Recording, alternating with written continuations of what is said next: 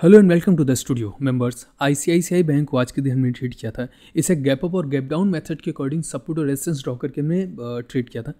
एक रेंज देखिए अभी हम यहाँ करेंगे। ये मेरी इंपॉर्टेंट कैंडल है। यहाँ से प्राइस मेरा अपसाइड की तरफ़ गया है और उसी रेंज के पास में आकर के प्राइस क्लोज हो गया है। प्राइस ने आज जब इस एक रेंज के पास आकर के ट्रैवलिंग की थी अपनी, इस रेंज पर हम प्राइस के अंदर बने हुए थे और अपने प्रॉफिट्स को हमारी बुक करने की कोई भी उम्मीद नहीं थी बिकॉज़ लग रहा था कि प्राइस हमारा और भी अपसाइड की तरफ़ जा सकता है और बड़े प्रॉफिट्स हमको देगा। यहाँ पर जैसे आप देख सकते हैं, कुछ एक क्रिटिकल सपोर्ट और रेजिस्टेंस पॉइंट्स हैं। इनको अभी हम मार्क करेंगे लाइक डाउन साइड के जो रेंजेस हैं गैप अप जहाँ से प्राइस हो गया था हमारा इस वाले पॉइंट से, ये एक सपोर्ट पॉइंट है और अपर रेंज हमारी एक रेजिस्टेंस पॉइंट है। इसके सेंटर में आकर के एक और रेंज है जहाँ से आज ने 915 ने अपना एक हाई लगाया है। लाइक like ये मेरा सेंट्रल रेंज आज इन्हीं तीनों पॉइंट्स को लेकर के हमने ट्रेड किया था और इन तीनों रेंजेस ने बहुत आ, आ, हमें सपोर्ट किया था ट्रेड करने के लिए। और भी ज़्यादा फोकस करते हैं आज के ट्रेडिंग सेशन में देखिए जैसे कि आज को हम जूम आउट करेंगे तो यहाँ पर एंट्री स्टॉप लॉस टारगेट्स सब कुछ आपको नज़र आएगा। फ़िलहाल जल्दी से हम लोग अपनी ऑर्डर बुक ओपन कर लेते हैं। तो अपने टर्मिनल पर लॉगिन करते हैं। Perfect. And uh, one okay. Login. Order book open करते हैं. एंड ऑर्डर बुक में आप देख सकते हैं टोटल जो क्वांटिटीज़ हमारी हैं 800 क्वांटिटीज़ के साथ हमने आई सी बैंक को ट्रेड किया था. एंट्रीज इसके अंदर हमने अपनी ली थी 748.40 पर. इसको एक बार रिफ्रेश कर लेते हैं. परफेक्ट स्टॉप लॉसेस जो हमने लगाए थे seven forty forty five point nine zero के स्टॉप लॉसेस थे और प्रॉफिट्स जो हमने इसके अंदर बुक किए अपने seven fifty eight point six five पर अपने सभी के सभी प्रॉफिट्स बुक कर लिए थे। ओके पोजिशन बुक में देखेंगे ओवरऑल जो अपना आज का प्रॉफिट हमारा एट थाउज़ेंड प्लस का प्रॉफिट है, जो कि एक डिसेंट प्रॉफिट है हमारे लिए। मार्केट कंडीशंस कुछ इस तरह के हैं कि बहुत सारे लोगों ने आज के दिन अपने स्टॉप लॉसेस दिए होंगे। ऐसा अपने एक्सपीरियंस के अकॉर्डिंग हम बोल सकते हैं। सो so, आज की जैसी मार्केट में भी हम कुछ ना कुछ अपना प्रॉफिट लेकर के गए। कल हाँ हमारा स्टॉप लॉस गया था लेकिन कल ही हमने अपना स्टॉप लॉस कवर कर लिया था रिकवर किया था।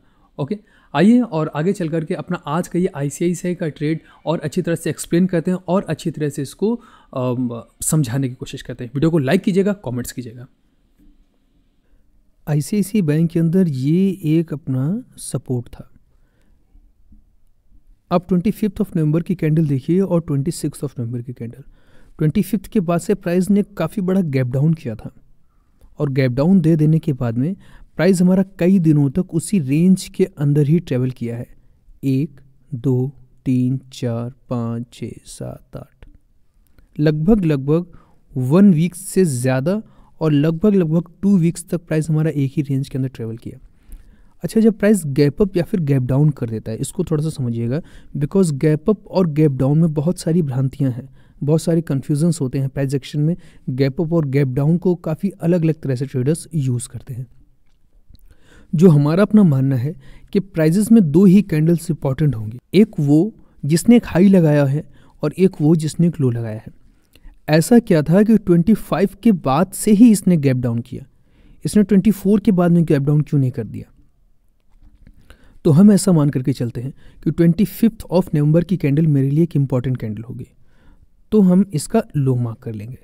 बिकॉज़ ये जो सपोर्ट पॉइंट था, अभी जो हम आपसे बोल रहे थे कि प्राइस ने गैप अप किया और गैप अप के बाद में सपोर्ट करने लगा था। तो ये देखिए, ये गैप डाउन था। गैप डाउन दे देने के बाद में प्राइस हमारा इस रेंज में नहीं आ पा रहा है। यानी कि ये एक ऑर्डर ब्लॉक हमारा बन जाता है पूरी तरह से। ये मेरा ऑर्डर ब्लॉक है। अब यहाँ से प्राइस अपनी इस रेंज को देखिए, या तो गैप डाउन कर रहा है, या फिर गैप अप कर दिया ये इस रेंज में क्यों नहीं आ पा रहा है? हमारे लिए ये रेंज एक बहुत इंपॉर्टेंट रेंज ऑफ़ पॉइंट बनती है। प्राइस ने क्या किया? कि गैप डाउन दे देने के बाद में यहाँ से गैप अप किया, और गैप अप के बाद में यहाँ से देखिए सपोर्ट्स मांग रहा है, और यहीं से ये अपसाइड की तरफ़ ट्रेवल कर रहा है। एग्जैक्ट आज देखिए क्या हुआ था? कि निफ्टी बैंक को अगर आप लोगों ने देखा होगा और फाइनेंशियल सर्विसेज़ को देखा होगा, इन दोनों की कन्फर्मेशन हमने ली थी। यहाँ पर हम ना ही निफ्टी बैंक का चार्ट ओपन करेंगे और ना ही निफ्टी फाइनेंशियल सर्विसेज़ का। आईसीआईसीआई बैंक को थोड़ा सा और भी अच्छी तरह से समझने की कोशिश करेंगे। अब देखिए, यहाँ पर मेरी एक जो इंपॉर्टेंट कैंडल बनती है, ये तो गैप अप और गैप डाउन की रेंज हो गई हमारी। एक इंपॉर्टेंट रेंज जो हमारी कैंडल बनाएगी, वो है ये वाली कैंडल ये ब्लैक वाली कैंडल हम एग्जैक्ट सिर्फ़ एक सिंगल लाइन ड्रॉ करते हैं राइट साइड में, ओके? ये ब्लैक। 748.40 ये मेरी एक रेंज निकल करके आई। यहाँ पर मेरे लिए इस कैंडल की इंपॉर्टेंस बहुत ज़्यादा बढ़ जाती है बिकॉज़ जिस पोजीशन पर ये है पी एस फोर मेथड के अकॉर्डिंग हम प्लेस शिफ्टिंग करते हैं। पोजीशंस की शिफ्टिंग हुई है। और आपको याद होगा कि हमने जो अपनी एंट्री आज के दिन ली है, seven forty eight point four zero पर ली थी। Seven forty eight point four zero हमारा ये एंट्री का पॉइंट बना था। प्राइस ने क्या किया कि गैप अप ओपनिंग दे देने के बाद में, देखिए, यहाँ से गैप अप ओपनिंग दी थी और गैप अप ओपनिंग दे देने के बाद में प्राइस हमारा इस रेंज पर आया और इसी रेंज से सपोर्ट डिफाइन करके ये अपसाइड की तरफ़ चला गया। दो चीज़ें यहाँ तक क्लियर हो जानी चाहिए कि एक तो ये गैप अप और गैप डाउन की थियोरी ये जस्ट एक शॉर्ट है गैप अप और गैप डाउन को बहुत अच्छी तरह से समझना होता है। गैप अप और गैप डाउन को अगर हम लोग समझ लेते हैं तो बहुत सारी प्रॉब्लम्स हमारी सॉल्व हो जाएँगी। बिकॉज़ इसमें काफ़ी सारी टेक्निक्स होती हैं। गैप अप और गैप डाउन को जो भी ट्रेडर्स ट्रेड करते हैं आई थिंक उन्हें इंपॉर्टेंस मालूम होगी गैप अप और गैप डाउन को कैसे ट्रेड किया जाता है और किस तरह से इन रेंजेस को हम आइडेंटिफाई करते हैं। Okay okay? तो इन शॉर्ट आप यहाँ पर ये समझ सकते हैं कि इन दो कैंडल्स को हमने एज अ सपोर्ट मार्क किया अपने लिए। प्राइस ने क्या किया कि सपोर्ट को डाउन साइड की तरफ़ है तो वो रेजिस्टेंस है अप साइड में है तो इसने क्या किया? रेजिस्टेंस को सपोर्ट में कन्वर्ट किया। ओके अब आ जाते दूसरी तरफ़। इस एक ब्लैक वाली कैंडल पर। ब्लैक वाली कैंडल का हम अगर लो मार्क कर लेंगे, अब क्योंकि ये सपोर्ट है फाइव मिनट्स में जाकर के हमें जो प्राइजेक्शंस देख रहे हैं, अपनी इन रेंजेस के पास में देख रहे हैं। हम आपसे हर बार कहते हैं कि ये भी, जो भी हम एनालिसिस कर रहे हैं आप लोगों के लिए, ये आप लोगों के लिए ही है। अगर आप इनसे कुछ सीख रहे हैं तो अच्छी बात है। और अगर नहीं सीख रहे हैं तो वीडियोस को एक बार या दो बार आप लोग रिवाइंड कर करके देखेंगे तो बहुत सारी चीज़ें समझ में आएँगी, बहुत सारी चीज़ें समझ में आएँगी। काफ़ी मेहनत लगती है वीडियोस को बनाने में, आप लोगों तक उसे पहुँचाने में, जो हम ट्रेड भी एग्जीक्यूट करें, जैसे कोई कोई भी हम ट्रेड एग्जीक्यूट कर रहे हैं। तो इसमें मेरा ये बिल्कुल भी मतलब नहीं है कि आप ये वाला प्रॉफिट देखिए मेरा, या आई सी बैंक हमने ट्रेड किया। हम इसको एक्सप्लेन आपके सामने कर रहे हैं ताकि आप इस ट्रेड एग्जीक्यूशन से कुछ ना कुछ सीखो। लेकिन ये ध्यान रहना चाहिए कि कोई भी ट्रेड आप एग्जीक्यूट करो तो उसमें आपकी कन्फर्मेशंस हो। उसमें क्योरी हो, जिसके बेस पर आप कोई भी ट्रेड एग्जीक्यूट करो। वीडियो अगर अच्छा लगता है तो वीडियो को ज़रूर से ज़रूर लाइक कीजिएगा और अपने कमेंट्स कीजिएगा। अब देखिए हम आगे की तरफ़ बढ़ते हैं। अब ये जो हायर टाइम फ्रेम पर हमने जितनी भी मार्किंग की इनको याद रखिएगा। फाइव मिनट्स में देखिए प्राइस ने यहाँ पर कौन कौन से एक्शंस किए हैं। मॉर्निंग में अगर आप लोगों ने देखा होगा आई बैंक को तो 915 की रेंज के अंदर ही ये फंसा हुआ है। थोड़ी देर तक नहीं, ये बहुत देर तक। लाइक अगर हम देखें तो 11 बजे तक ये अपनी रेंज के अंदर ही फंसा हुआ है। लेकिन ऐसा क्या था कि इस रेंज पर हमें मिली थी कन्फर्मेशंस कि जहाँ से हमने एक ट्रेड अपना एग्जीक्यूट किया था। आप वॉल्यूम्स की भी ले सकते हैं और प्राइजेस वॉल्यूम प्राइस दोनों की कन्फर्मेशन के साथ हमने क्या किया था? 748.40 पर अपनी एंट्रीज को ली थी। और जो स्टॉप लॉसेस हमने इसके अंदर लगाए थे 745.90 745.30 का। इसी में जस्ट हमने क्या किया? 16 पैसा और प्लस कर दिया था। अभी 90 में क्या हुआ कि ये मेरा एक स्विंग लो बन गया।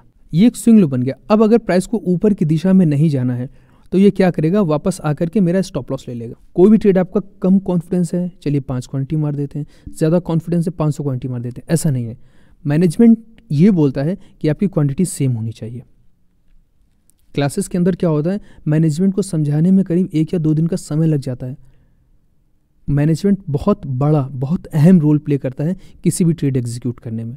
हमारे लिए हमारा प्रॉफिट बड़ा नहीं है, हमारा मैनेजमेंट कई बार होता है कि सेवनटीन सेवनटीन थाउज़ेंड के प्रॉफिट्स को हमने सेवन हंड्रेड के या फिर वन थाउज़ेंड के प्रॉफिट में चेंज कर दिया।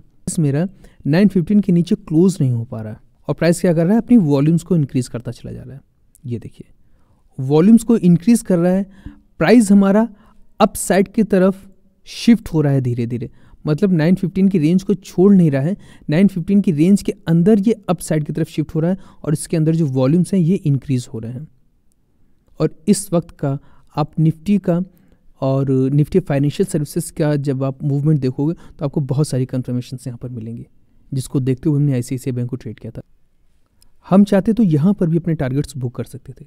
बट हमें नहीं मालूम है कि प्राइस किस रेंज तक जाएगा और कहाँ से ये नीचे की दिशा में घूम जाएगा। हमारे पास जो एक्चुअल टारगेट थे, आप यहाँ पर एक स्विंग देख रहे होंगे कि प्राइजेस ने एक्चुअली यहाँ पर एक स्विंग बना रखे हैं। यहाँ पर देखिए। प्राइस अगर इस रेंज तक आता तो हम यहाँ पर अपने प्रॉफिट्स को बुक कर सकते थे बिकॉज़ ये एक एक्सपेक्टेड रेजिस्टेंस पॉइंट था। एक अच्छा आ रहा रेशियो हमको मिलता। आज बहुत बड़ा रेशो नहीं मिला हमको जस्ट वन रेशो फोर मिला है ओके तो प्राइस अप साइड की तरफ़ गया और देखिए नीचे की दिशा में गिर गया। यहाँ पर एक वॉल्यूम आई थी जिसको कि अभी हमने मार्क करके आपको बताया ये वाली रेंज बट प्राइस देखिए क्या किया है? उसी रेंज पर इसने क्लोजिंग दे दी अपनी।